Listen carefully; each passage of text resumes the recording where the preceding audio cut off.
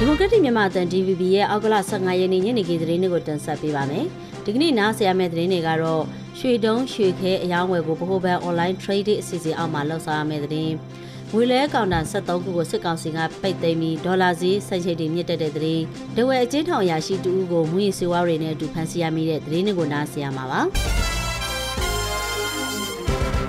ရွှေစင်းနှုန်းတည်ငြိမ်ဖို့အတွက်ရွှေတုံးရွှေခဲအယောင်းဝယ်တွေကိုဗဟိုဘဏ်ရဲ့ online trading အစီအစဉ်အောက်မှာလှုပ်ဆောင်ရမယ်လို့စစ်ကောင်စီဗဟိုဘဏ်ကဆိုပါတယ်။ အောက်ကလာ12ရက်နေ့နေပြီးတော့ဗဟိုဘဏ်မှာပြုလုပ်တဲ့နိုင်ငံသားငွေကြေးထိန်းသိမ်းကြက်မှတ်ရေးအစည်းအဝေးမှာစစ်ကောင်စီဗဟိုဘဏ်ဥက္ကဋ္ဌကအခုလိုပြောကြားခဲ့တာပါ။အဲ့ဒီ online trading အစီအစဉ်မှာတရားဝင်မှတ်ပုံတင်လက်မှတ်ရှိသူတွေသာစိုက်ချိတ်စံညွှန်းသတ်မှတ်ချက်တွေနဲ့ညီရောင်းဝယ်ခွင့်ပြုမယ်လို့လည်းဗဟိုဘဏ်ထုတ်ပြန်ချက်အရသိရပါတယ်။စစ်ကောင်စီဟာရွှေစည်းနှုန်းကိုညှိနှိုင်းဖို့အခုလိုနီလန်တစ်မျိုးနဲ့လှုပ်ဆောင်လာပေမဲ့ပြည်ရင်းရွှေစည်းဟာရောင်းအားဝယ်အားနဲ့ကမ္ဘာရွှေစည်းဒေါ်လာစည်းအတက်အကျတို့အပေါ်မှာသာမူတည်တယ်လို့လည်းရန်ကုန်မြို့ခံလုပ်ငန်းရှင်တူကပြောပါတယ်။ဗဟိုဘဏ်စည်းဝေးမှာရွှေစည်းမတည်ငြိမ်ကမောက်ကမမဖြစ်အောင် ဈေးကစားသူတွေထက်ရွှေဆိုင်တွေပါဝင်ခြင်းရှိမရှိနဲ့လုပ်ငန်းလိုင်စင်နဲ့မှတ်ပုံတင်မရှိဘဲအယောင်းဝယ်ပြုလုပ်နေမှုတွေရှိမရှိတွေကိုလည်းတေချာစစ်ဆေးဖို့လိုအပ်ကြောင်းလည်းစစ်ကောင်စီဘို့ဘဥက္ကဋ္ဌကတိုက်တွန်းပြောဆိုခဲ့ပြီးလုပ်ငန်းလိုင်စင်မရှိဘဲအွန်လိုင်းမှာနိုင်ငံသားငွေရောင်းဝယ်မှုတွေဈေးကစားသူတွေကိုလည်းအရေးယူသွားမယ်လို့လည်းပြောကြားခဲ့ပါတယ်။ဒါအပြင်အဲ့ဒီအစည်းအဝေးမှာနိုင်ငံသားငွေရွှေဈေးကွက်အပြင်အိတ်ချဲမြေကားဈေးကွက်တွေကိုပါ online trading အစီအစဉ်အောက်ကနေ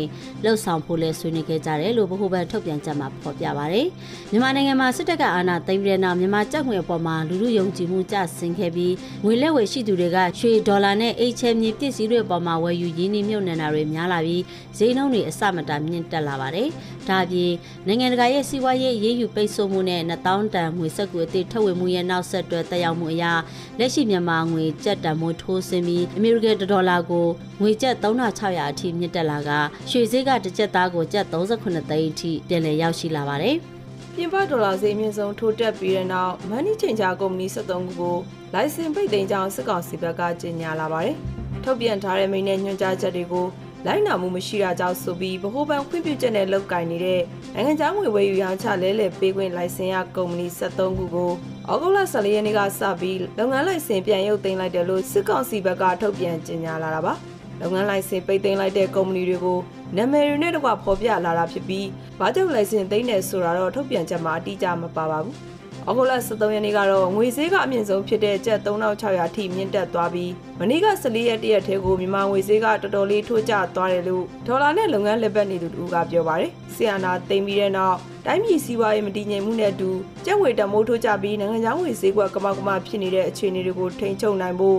ဗဟိုဘဏ်ကငွေကြေးဆိုင်ရာမူဝါဒအပြောင်းလဲများစွာကိုချမှတ်နေသလို နိုင်ငံခြားငွေဝယ်ယူရောင်းချမှုတွေပေါ်မှာလည်းအဖက်ဖက်ကတင်းတင်းကြပ်ကြပ်ချုပ်ကိုင်နေတာပါပြီးခဲ့တဲ့ရက်ပိုင်းကလည်း license မရှိဘဲ online မှာနိုင်ငံခြားငွေရောင်းဝယ်သူတွေဈေးကစားသူတွေကိုလည်းဖော်ထုတ်ရေးယူသွားမယ်လို့စစ်ကောင်စီဗဟိုဘဏ်ကတတိပေးချက်ထုတ်ထားပါတယ်။ရန်ကုန်မြို့မှာစောက်စီဟာတပိတ်တာကိုကြက်တောင်းကျော်ရှိလာပြီးဈေးဆိုင်တချို့မှာလိုတလောက်မရောင်းမဲ့အကန့်အသတ်နဲ့ရောင်းချတာမျိုးတွေရှိလာတယ်လို့ဝယ်ယူသုံးဆွဲသူထံကသိရပါဗျ။ စောက်စီဈေးတွေဟာလက်လီရောင်းချတဲ့ဆိုင်တွေမှာတပိတ်တာကိုကြက်တောင်းဈေးရှိနေပြီးအိမ်ဆိုင်တွေမှာတော့တပေါင်းတစ်ထောင်နဲ့ရောင်းချနေတာလို့ဆိုပါတယ်။အဲ့လိုစောင်းစီဈေးမြင့်နေတယ်လို့ဆိုင်ကြီးတချို့ကလူအရေအတွက်ပေါ်မှာမူတည်ပြီးအကန့်အသတ်နဲ့ရောင်းချနေတာမျိုးတွေရှိနေတယ်လို့လည်းကုန်းစောဆိုင်ဖွင့်ထားသူတူကပြောပါတယ်။ စားသုံးစီတင်သွင်းတော်လောင်ဖြန့်ဖြူးခြင်းလုပ်ငန်းကြီးကြပ်ရေးကော်မတီကထုတ်ပြန်ထားတဲ့အောက်ကလ20ရက်နေ့ထိရည်ညွှန်းဈေးမှာစောက်စီတပိတ်တာကိုလက်ကားဈေးဟာ4035ကျပ်ဖြစ်တယ်လို့ဖော်ပြထားပါတယ်။ဒါပေမဲ့မြေပြင်မှာတော့တတ်မှတ်ဈေးနှုန်းထက်နှစ်ဆကျော်ရှိနေတယ်လို့လည်းဝယ်ယူသုံးစွဲသူတွေကြားဝေဖန်မှုတွေရှိနေပါတယ်။တနင်္လာရီတိုင်းတဝဲကျင်းထောင်တွင်ရှိဒူထောင်မှုဦးသူရိန်ထွန်းရဲ့နေအိမ်ကိုအောက်ကလ14ရက်နေ့လယ်3နာရီက စစ်ကောင်စီတပ်နဲ့ရဲတွေဝင်ရောက်ရှာဖွေခဲ့ရာမူရစ်စေဝါတွေနဲ့တူဖမ်းဆီးရမိခဲ့တယ်လို့အချင်းဦးစီးနဲ့နီးစပ်သူတွေစီကနေသိရပါတယ်။တဝဲအချင်းထောင်ရှိဒူးထောင်မှုဦးသူရင်ထွန်းရဲ့နေအိမ်ကိုစစ်ကောင်စီတပ်နဲ့ရဲကအလစ်ဝင်ရောက်ရှာဖွေခဲ့ရာကဖုံးမျိုးစုံ49လုံး laptop အလုံး30ဖုံးနဲ့ဆက်ဆက်ပစ္စည်းတွေအများပြား WY Ice ဆေးကြောင့်နဲ့မူရစ်ဆေးဝါးသုံးဆွဲရမှာအသုံးပြုတဲ့ဆက်ဆက်ပစ္စည်းတွေနဲ့အတူဖမ်းဆီးရမိခဲ့တယ်လို့ရဲတပ်ဖွဲ့ကထုတ်ပြန်ထားပါတယ်။လက်တလုံးမှာမူရစ်ဆေးဝါးတွေနဲ့ဖမ်းဆီးခံရတဲ့ဒုထောင်မှုဦးသူရိန်ထွန်းကိုစစ်ကောင်စီတပ်ကစစ်ကြောရေးကိုပို့ဆောင်ထားပြီးဝင်းဆက်တရားခံတွေကိုစစ်ဆေးနေတယ်လို့အုပ်ချုပ်ရေးနဲ့နှီးဆက်သူတွေစီကနေသိရပါတယ်။ရှိပြည်နယ်တောင်ကြီးမြို့မှာကျောင်းကားတစ်စီး break ပေါက်ပြီးအရှိန်မထိန်နိုင်မဲ့တိမ်မောက်ခက်ရမှာကျောင်းသား20ကျော်တန်ရရှိခဲ့တယ်လို့ဒေသခံတွေကပြောပါတယ်။တောင်ကြီးမြို့ဖျားဖြူရက်ွယ်နေမြေရှိ ရက်တော်မူဖျားအနီးမှာအောက်ဂလ14ရက်နေ့မနေ့8နာရီလောက်ကတိမ်မောက်ခဲ့တာဖြစ်ပြီးကျောင်းကားပေါ်မှာတောင်ကြီးအမှတ်30အခြေခံပညာထက်တန်းကျောင်းကကျောင်းသား16ဦးနဲ့ကျောင်းသူ73ဦးတို့လိုက်ပါလာခဲ့တာပါ